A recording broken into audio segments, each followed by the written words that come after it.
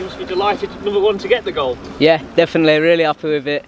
Um, lads getting into me about scoring a header, but no, I'm happy with it. It's a great diving header as well, wasn't it? Is that something you're, you're known for in your career? Um, I wouldn't say I'm known for it, no, but um, if I can start adding them, I'll, I'll take it. It was an all-round display tonight, though, wasn't it, from Lincoln? We were trying to choose a man of the match. It was hard to choose who hadn't had a good game tonight. Yeah, definitely. I think we set the tone really. Um, we were, we really professional performance, and we saw it right out to the end. But no, everyone was class. Uh, glad to get 90 minutes under the belt as well, because it's been a frustrating couple of games for you, hasn't it, where you've not been able to get much football.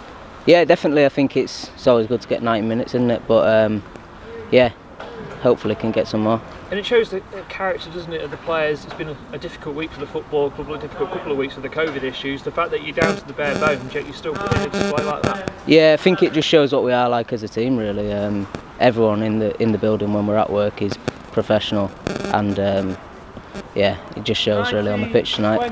Quarter-finals now, not too far away, 180 minutes away from a, a possible Wembley appearance. It Yeah. shows that this competition it gets a lot of criticism at the group stage, but now it shows how close you are to a, a national final. Yeah, definitely. I think it's just motivation for us, you know, knowing that we can get there. I believe we can get there, so that'll be great for everyone.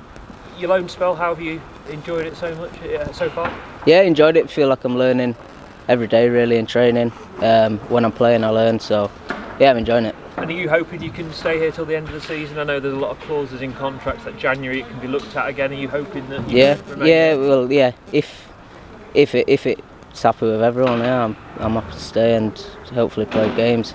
Uh, a weekend off, a change. What do you usually do with the Saturday afternoon off? There's not usually too many. What's the plan for Saturday? Yeah, I don't know really. My my parents are not letting me back in the house at home, so I'm staying in Lincoln. So uh, yeah, they've got the door shut and not letting me in. So. Why is that? Do you think? I think my mum's just petrified of it, to be honest. But I- I'm getting into her, but she's just not having it.